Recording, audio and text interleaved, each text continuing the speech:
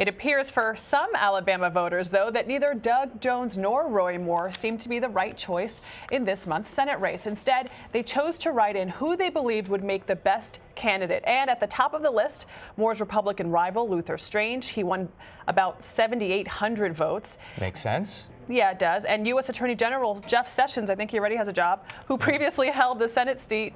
But some fictional characters uh -huh. made the list as well, including Ron Swanson from the television series Parks and Recreation.